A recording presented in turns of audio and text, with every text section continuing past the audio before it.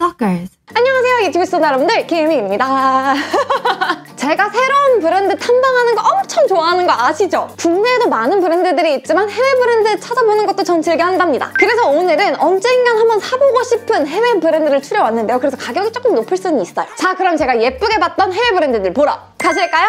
Stalkers. 리폼드라는 브랜드인데요. 이 브랜드는 이 할아버지 모델이 진짜 크게 한몫을 했어. 제가 사실 이 브랜드 SS lookbook에서 저 연보라색 양말을 보고 연보라색 양말을 구매했답니다. 리폼드는 아직 따끈따끈한 신생 브랜드로 워크웨어, 밀리터리, 전통 의상 등 자신이 경험해본 것을 옷에 녹여낸다고 합니다. 그래서인지 정말 wearable한 옷들이 가득한 브랜드예요. 그런데 이번 FW lookbook이 와 진짜 갖고 싶었어요. 전체적으로 특유의 cozy한 감성은 느껴졌는데 저 varsity?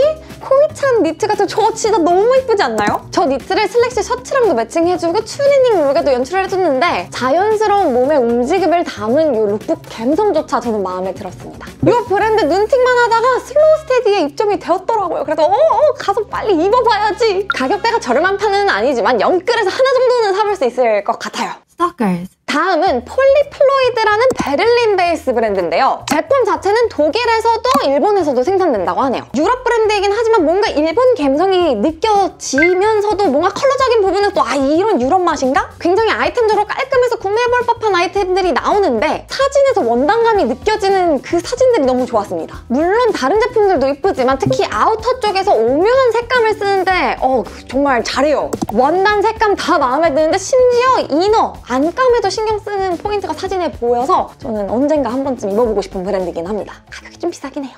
Stalkers. 다음은 오프로젝트라는 일본 베이스 브랜드인데요. 세트로 구성된 옷들도 있고 그냥 그 브랜드 룩들로만 입어줘도 굉장히 이쁜 브랜드라서 어, 계속 눈여겨보고 있습니다. 이런 해외 브랜드 가격적으로 좀 부담스럽다 하셔도 보는데 돈이 드는 건 아니잖아요? 그래서 이런 lookbook들을 보시고 아 비슷한 아이템을 이렇게 styling하면 되겠다. layering 이렇게 하니 이쁘네? 이런 공부하시는 것도 추천드립니다. Stalkers. 다음은 샌프란시스코 베이스의 에반 키노리라는 브랜드인데요. 주로 deadstock fabric을 사용해서 옷을 만드는데 원단 select이 기똥차입니다.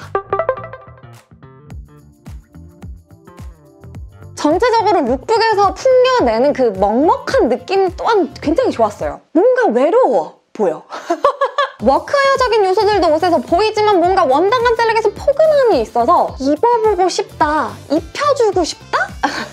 라는 느낌의 브랜드? gray, brown, 차분한 톤들의 옷들도 있지만 시간 포인트, 악센트 컬러들도 잘 활용하는 것 같아서 제가 눈여겨보고 있습니다. 게다가 옷을 대량 생산하시는 브랜드가 아니라서 옷마다 이제 번호표가 매겨졌다 이런 감성 또한 굉장히 좋다. 소장 욕구 뿜뿜.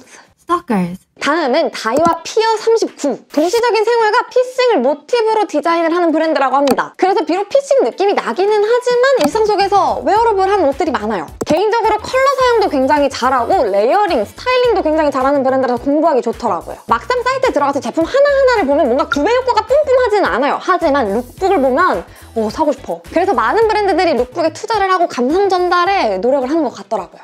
Stalkers. 다음은 소재와 컬러적인 매력 포인트가 뿜뿜하는 이태리 베이스 브랜드 페데리코 치나입니다. 뭔가 몸에 얹어지는 실루엣이 예쁜 옷들이 많이 보이더라고요. 우아하면서도 로맨틱한 분위기가 이 브랜드 특징이라고 생각을 하는데 특히 23 SS 컬렉션은 제 인스타 스토리를 장식했습니다. 색감 사용과 layering이 너무 예뻐. 뭔가 다가가기 어려운 뭔가 다가가기 어려운 컬렉션 느낌을 저 스트라이프 니트 하나 때문에 어 나도 따라서 저렇게 입어볼 수 있을 것 같은데? 라는 느낌을 들게 해주더라고요. 특히 저 반바지 밑에 셔츠가 layering 돼 있는데 저, 저 센스 그리고 전체적으로 제가 좋아하는 니트들이 많이 보여서 아 저런 니트들 너무 예쁘다 사고 싶다 하지만 돈이 없다 이런 브랜드? Stalkers. 마지막은 도쿄 베이스 브랜드인 리흐 베스트르벤입니다. Licht bestreben. 일본 베이스라며! 이름 왜 그래? 이 브랜드도 마찬가지로 최근 FW 시즌 제품들이 소재감, 원단감이 너무 예뻐서 계속 눈팅하고 있는 브랜드인데요. 가격대가 은근 있는 편이지만 또 막 엄청 영끌해서 못 살 건 없을 것 같아.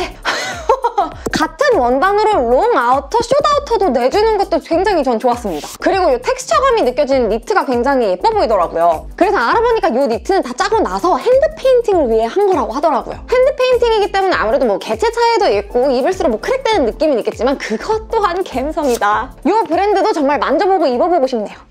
Stalkers. 자 이렇게 해서 많진 않았지만 제가 요즘 눈팅하고 있는 해외 브랜드들을 추려서 영상을 만들어 봤는데요. 이런 브랜드들을 구매 목적이 굳이 아니시더라도 보고 참고하면서 아 이렇게 스타일링하면 이쁘구나. 요즘 이게 트렌디하구나. 눈팅하시면서 저처럼 위시리스트를 어, 작성하시면 좋겠네요. 패션은 즐기는 거잖아요? 참 이 세상에는 재능 있는 사람들이 참 많아. 그래서 우리 지갑은 참 아파. 그죠? 자 그럼 저는 다음에도 제가 개인적으로 눈팅하는 브랜드가 있으면 이렇게 추려서 데려오도록 하겠습니다. 그럼 안녕! 열심히 일해서 쇼핑해야지!